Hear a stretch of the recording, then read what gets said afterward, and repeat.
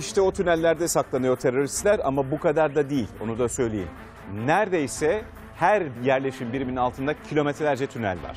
Şimdi saklanıyorlardı diyeceğiz aslında. Şimdi çoğu kaçtı ama kaçarken ancak şeytanın aklına gelebilecek türden bir ihaneti de sahneleyerek kaçtılar ve kaçıyorlar. O iha- ihanet ise çok geçmeden ayyuka çıktı. Sabahın erken saatleriydi. Milli Savunma Hulusi Akar siyasi partileri bir bir ziyaret etti. Liderlere operasyonla ilgili bilgiler verdi. Nasıl gittiğine dair. O ziyaretlerden birinin hemen sonrasıydı. Saat 13 civarı. Hulusi Akar ki az sonra sesini de taşıyacağım açıklamalarını ekranlarınıza getireceğiz. Kameraların karşısına çıktı ve YPG cezaevindeki DAEŞ üyesi teröristleri kaçırdı dedi.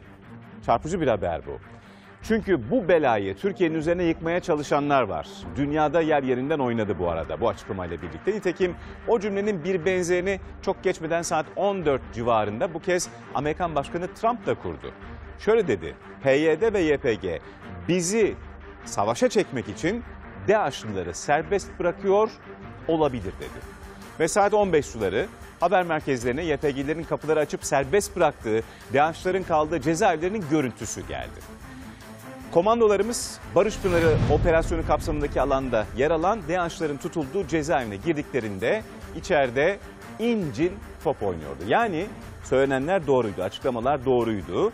Terör örgütü YPG öteki terör örgütü DAEŞ'a yol açmıştı.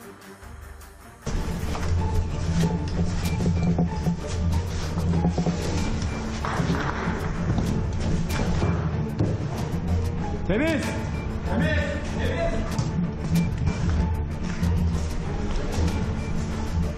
Oda içinde oda var. Oda içinde oda var. Oda içinde oda var.